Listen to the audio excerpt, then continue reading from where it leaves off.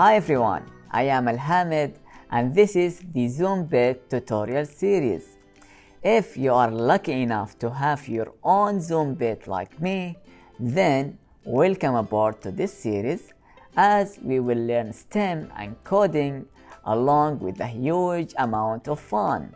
By the end of this series, you will find yourself has gained a lot of programming skills and you will be quite familiar with the robotic world thanks to ZoomBit. Alright, so before we start, if your ZoomBit is still in its box and you haven't done the assembly yet, you may watch this video as it will show you how to do it step by step. I will leave the link in the description below. Very well. So, if you notice, there is an awesome colorful book comes along with the ZoomBit. And here, me and you we will go through all the 10 chapters of this guidebook, where we will be learning a lot of things together along the way. So, without wasting any more time, let's start this journey and go to our first destination, which is chapter 1.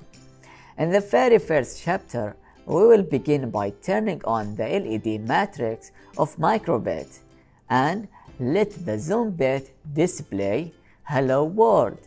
Now I encourage you to bring your computer and the book so you can follow me. Alright, so the first thing we want to do is to open the browser and go to makecode.microbit.org and then click on new project.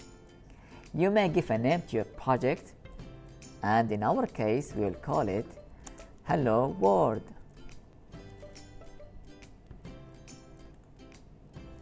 So this is how the page will look like. It's super easy to use it. Let's break it one by one so we can understand it better. Alright, so here at the top you can choose which way you want to program the microbit. There is the blocks method or you may either use between JavaScript or the Python. In our case, we will be using the blocks. The very first icon on the right side, it will enable you to publish and share your project once you finish it. And next to it, there is the help menu.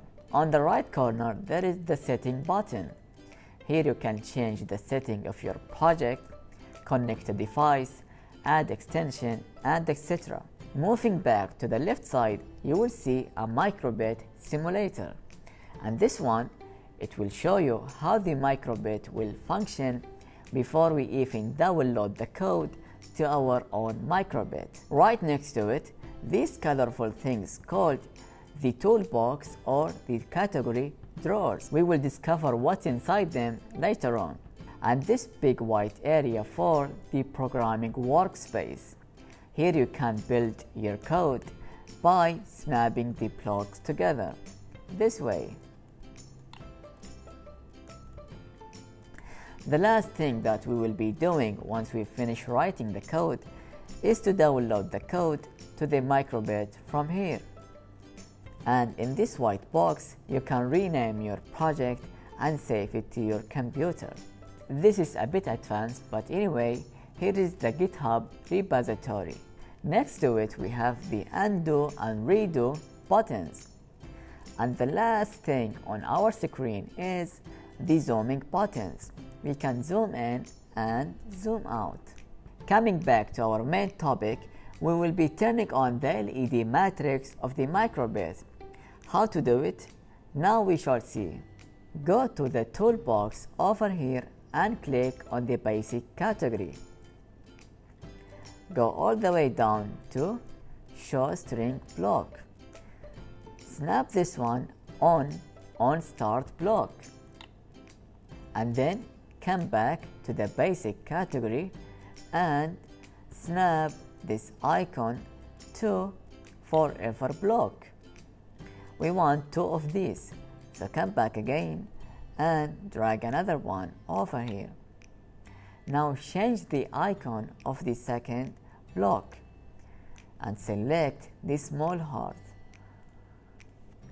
Oh wait a second, did you notice something? Our simulator of the microbit start to work. What's happening here actually any code we write on the right side, it will be showing on the microbit on the left side. And if you paid more attention, you will notice the hello text appeared only at the beginning and for one time. And the heart animation keeps looping over and over again. Do you know why? This is basically happening because anything we put on the on start block will run only one time and at the beginning and anything we put on the forever block will always be running in an endless loop. Okay guys, now instead of seeing the code running in the simulator, let's take it to our real microbit over here. So, bring your USB cable and connect it to your laptop. And connect the other side of it to the microbit over here. This way. And then go to the download button over here and click on it.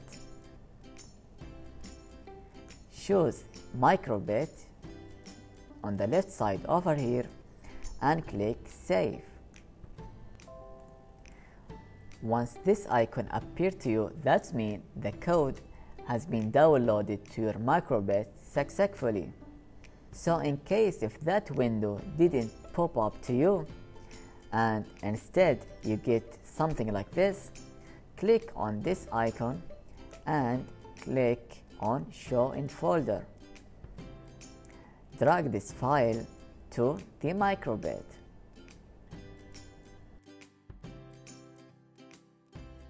Alright, now unplug the USB cable and power up the zoom bit by sliding the power switch to on.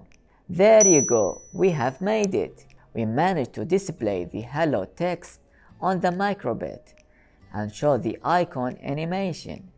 In case if you missed the text display, you can always switch the power off and turn it on again. Alright, so before we end this video, let me show you a little trick that will save a lot of your time once you download the code every time to your microbit.